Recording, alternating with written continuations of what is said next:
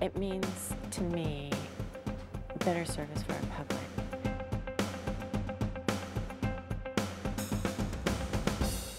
I'm a call taker for the Public Safety Communications Department. And usually when someone calls 911, it's the worst day of their life. So it's my job as a call taker to help them through their time of greatest need. This new direction to consolidate fire and police disciplines, it eliminates the need to transfer a call to another call taker and it reduces confusion in an already stressful situation. We want to earn the respect and trust of the public. We want them to know that we care, and we want them to know that we're here for them. What does this consolidation mean to you? It means to me better service for our public because eh, the, the person who answers the phone can take care of the call from beginning to end. We don't have to transfer to two or three different people. And that gets them help quicker. So I think, I think moving us all into the same room builds camaraderie and more trust with each other. We're all on the same team. I think the cross training is helping a great deal because we're stepping into each other's shoes and it's, uh, it's making things much better for all of us. The average citizen should care because its response time is going to be quicker for them.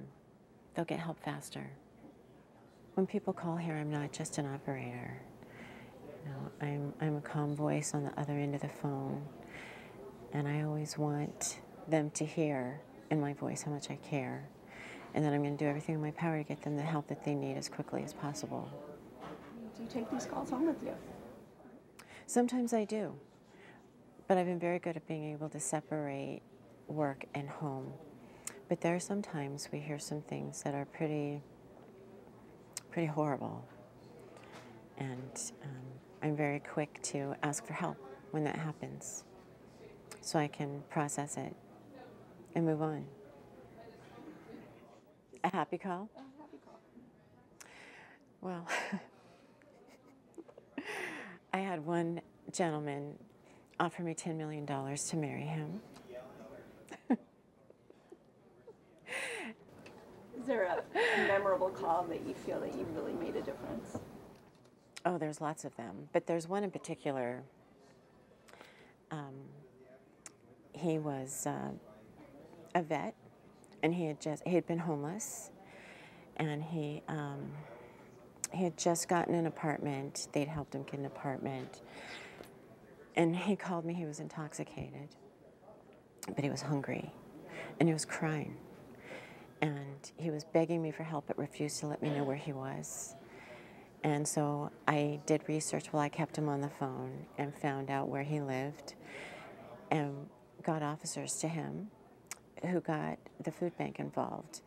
But months later, he called again and I got him. And we realized that we had spoken that day on the phone